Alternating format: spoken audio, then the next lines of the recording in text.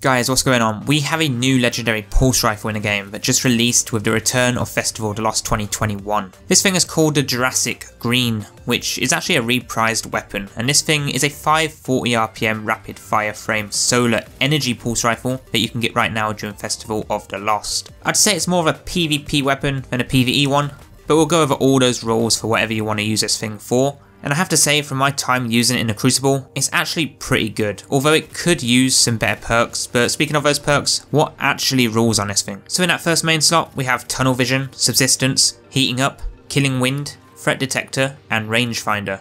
Rangefinder on a pulse is pretty interesting, but for the last slot, we do have Wellspring, Frenzy, Adrenaline Junkie, Unrelenting, Multi-Kill Clip, and Dragonfly. Now your PvP god roll would be, in my opinion, a nice arrowhead brake for that extra handling and recoil.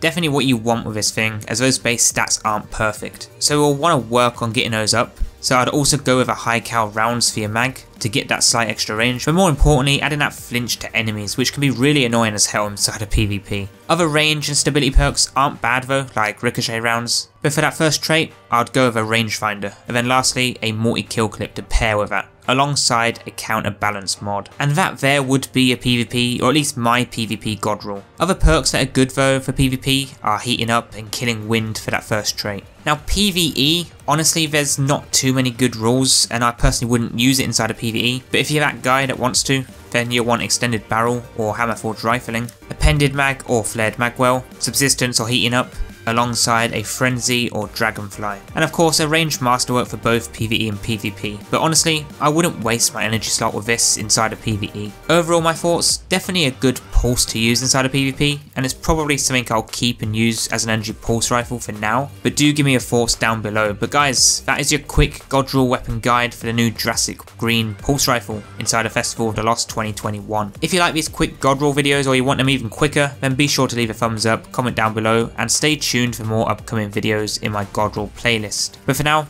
grind out those haunted sectors and I'll catch you all very soon for the next one.